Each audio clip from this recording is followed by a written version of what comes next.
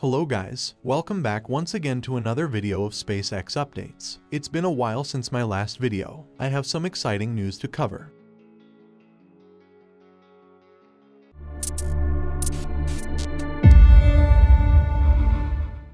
Let's start with Starship Booster 7.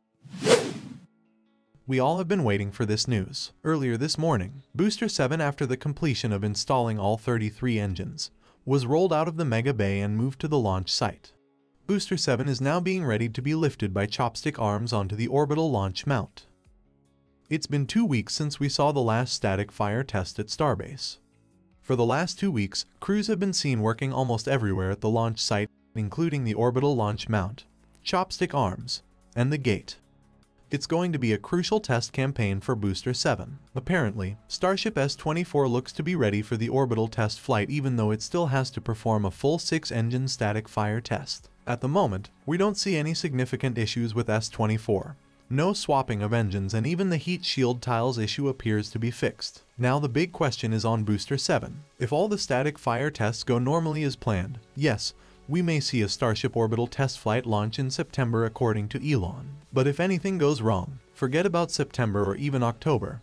Launching a Starship into orbit in 2022 will be a challenge for SpaceX. Elon himself said this on Twitter. Well, let's be optimistic about it. Let us hope for a launch in the next couple of months.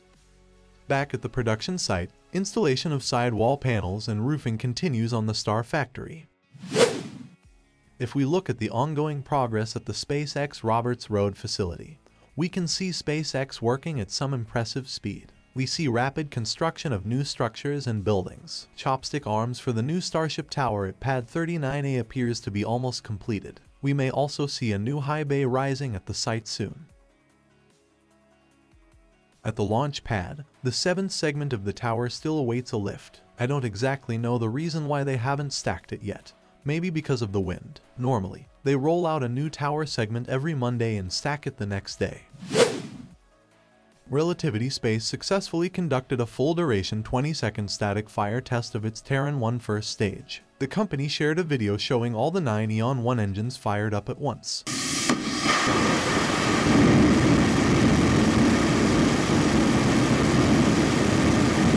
This is a really incredible achievement for the whole team involved because the Terran 1 rocket is entirely 3D printed and the first of its kind. Relativity is planning to conduct its first test flight of Terran 1 rocket named Good Luck, Have Fun mission this year without a payload on board.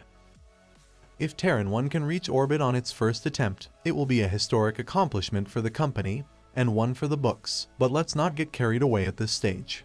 Firing engines on the ground and reaching orbit is not the same thing. We all agree on the fact that space is hard. I wish them all the best. We are less than six days from NASA's Artemis 1 mission. The humans return to the moon mission. Artemis 1 already passed the flight readiness review. SLS is currently sitting at the launch pad with Orion spacecraft on top with dummy astronauts inside, waiting for liquid nitrogen and liquid oxygen to fill up its tanks for a journey to the moon.